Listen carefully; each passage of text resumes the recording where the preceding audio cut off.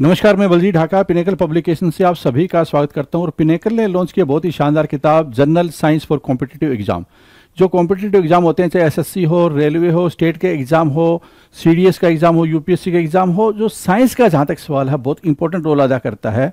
और उसके लिए पिनेकल ने चैप्टर वाइज किताब लॉन्च की है, जो थ्योरी भी है, जिसमें एमसीक्यू भी है। और क्या क्या फीचर है, इसके पूरा स्क्रीन पर भी लेकर चलूँगा मैं आपको।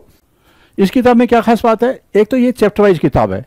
आपकी स्क्रीन पे आपको दिखाई दे रही होगी। मैं आपको स्क्रीन पे लिए चलूँगा। ठीक है? जिससे आपको पता चल जाएगा जो किताब है, ये चैप्टर वाइज किताब है थ्योरी एमसीक्यू है एनसीईआरटी की जितनी किताबें हैं, उनका एक किस्म से आप ये बोल सकते हैं कि करेक्ट है ये किताब। बीस चैप्टर फिजिक्स के हैं केमिस्ट्री के बीस चैप्टर बायोलॉजी के चौदह और इन्वायरमेंट इकोलॉजी के सात चैप्टर कंप्यूटर के सात चैप्टर इस किताब में। इंग्लिश मीडियम में अलग किताब है हिंदी मीडियम में अलग किताब है ये। ठीक है? इसका आने वाले टाइम में वीडियो कोर्स भी आएगा। जिससे कि स्टूडेंट को जो साइंस में दिक्कतें आ रही है, वो सारी दूर हो जाए। और ये जो कंटेंट है सेम कंटेंट मिलेगा हिंदी मीडियम में और इंग्लिश मीडियम में। तो कोचिंग सेंटर्स होते हैं, आप, उनको बड़ी दिक्कत आती है। अगर किताब इंग्लिश में अलग हो, हिंदी में अलग हो तो उनको दिक्कतें आती है। तो नोट्स के रूप में इसका इसका इस्तेमाल कर सकते हैं। पढ़ाने में बड़ा आसान रहेगी। ये किताबें कंप्लीट साइंस कवर करती है, जो कॉम्पिटिशन एग्ज़ाम है उसके लिए। और ये अवेलेबल कहाँ मिलेगी आपको? लोकल बुक शॉप पर मिलेगी अमेजन पे मिलेगी और फ्लिपकार्ट पे मिलेगी, नीचे डिस्क्रिप्शन में लिंक दिया हुआ है। अब मैं आपको स्क्रीन पे ले चलता हूँ, जहाँ पे पूरी डिटेल बताऊँगा कि कौन कौन से चैप्टर है और ये दो कलर में है। किताब किस तरह से आपको दिखाई देगी, वो भी मैं आपको बताऊँगा। अब मैं आपको स्क्रीन पे ले आया हूँ, जहाँ से आपको पता चलेगा इस किताब में क्या है और किस तरह से इसका इंडेक्स है और बाकी कंटेंट किस तरह से तो देखिए, सबसे पहले जैसे फिजिक्स है यूनिट एंड मेज़रमेंट मोशन ये चैप्टर्स का नाम है। इसके बाद क्या है, यहाँ पे जैसे थ्योरी दी हुई है एक से छः पेज पे, उसके बाद में इससे रिलेटेड प्रैक्टिस क्वेश्चन है फिर आंसर की है।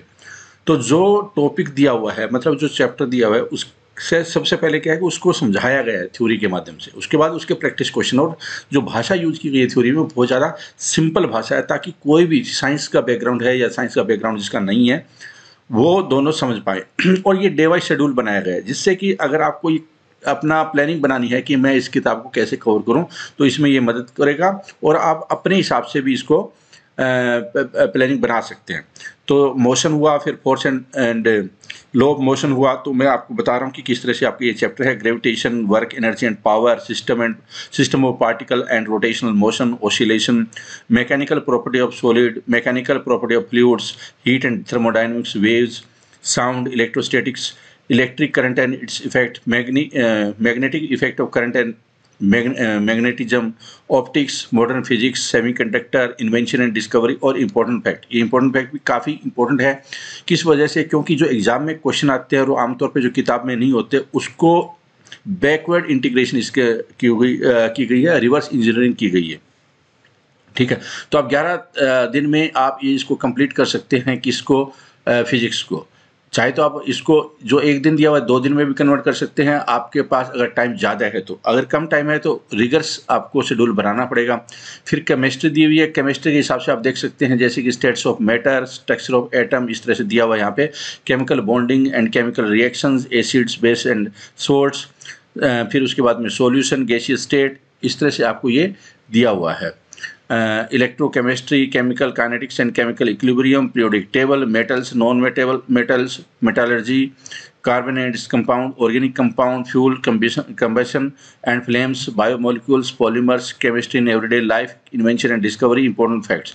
तो ऐसे करके पहले थ्योरी और उसके बाद में ये दिया हुआ और उसके बाद बायोलॉजी का दिया हुआ, जैसे classification organism cell tissue nutrition reproduction morphology and physiology of plant plant kingdom animal kingdom genetics and evolution human physiology उसके बाद health and disease biochemist biotechnology invention and discovery important facts और उसके बाद में इन्वायरमेंट दिया ecology and ecosystem environment resource environmental conservation environmental waste ozone layer depletion and greenhouse impact effect pollution important facts फिर उसके बाद में कंप्यूटर गाइड दिया हुआ है। तो हम आगे थोड़ा देख लेते हैं क्या दिया हुआ है। ये देखिए, ये जो किताब है, ये कलर्ड किताब है, दो कलर में है, एक सियान कलर है और दूसरा ब्लैक कलर है। ये देख सकते हैं आप इसका पहले ये पूरा समझाया गया है। जैसे एग्ज़ाम में रियल में आता है, उसी तरह से दिखाया गया है आपके सामने। ये देखिए, इस तरह से। ये थ्योरी आ गई है। उसके बाद में ये देखिए यहाँ पे इसकी थ्योरी चल रही है scientific instrument and their uses और उसके बाद में एमसीक्यू है, जो डिफरेंट एग्ज़ाम में एमसीक्यू आए हैं। उसी से रिलेटेड फिर उसके बाद में उसकी आंसर की है। फिर अगला चैप्टर स्टार्ट होता है, ऐसे करके ये पूरा दिया हुआ है। जहाँ डायग्राम की ज़रूरत है, वहाँ डायग्राम भी दिया हुआ है, जिससे कि आप समझ पाएँ। और इसका वीडियो कोर्स भी आएगा तो जिनको लगता है कि साइंस कमज़ोर है जिनकी तो वो वीडियो कोर्स भी साथ में ज्वाइन कर सकते हैं। इसी किताब का वीडियो कोर्स होगा तो उनके लिए बेटर यही होगा कि वो वीडियो कोर्स भी ज्वाइन कर सकते हैं, वरना जो कोचिंग सेंटर्स है, वो इस किताब को फॉलो करेंगे, उनका भी कोर्स आप ज्वाइन कर सकते हैं। इस तरह से आपको दिया मैं थोड़ा और दिखा देता हूँ। स्पेशली मैं बायोलॉजी की पोर्शन भी दिखा देता हूँ, क्योंकि वो भी काफ़ी डिटेल में बनाया गया है बायोलॉजी वाला पोर्शन भी। जैसे रेस्पिरेटरी सिस्टम है, सारे सिस्टम भी दिए हुए हैं। नर्वस सिस्टम है स्पाइनल कोड वगैरह इसमें दी हुई है सारी चीज़ें। ये डायग्राम भी काफ़ी दिए हुए हैं। ठीक है, जिससे कि आप समझ पाएँ डायग्राम के हिसाब से भी। एलिमेंट्री कनाल वगैरह ये सारी चीज़ें दी हुई है। ये जैसे कि टीथ फॉर्मूला है, वो दिया हुआ है इसमें। तो जहाँ पे डायग्राम की ज़रूरत है, डायग्राम दिया हुआ है, और जहाँ पे कि कि फैक्ट देना है, वो फैक्ट फैक्ट दिया हुआ है। इस, ये किताब कंप्लीट किताब है साइंस के हिसाब से। इससे आपको डिटेल में पढ़ने की ज़रूरत नहीं है, क्योंकि कैंट तो किसी चीज़ का होता नहीं है। लेकिन अगर आप ये कंप्लीट कर लेते हैं तो काफ़ी हद तक क्या है कि आपकी सारी चीज़ें कंप्लीट हो जाएगी। ठीक है, उम्मीद करता हूँ ये किताब आपको बहुत ज़्यादा पसंद आएगी, और ये बहुत ही अच्छे ढंग से डिज़ाइन की गई है।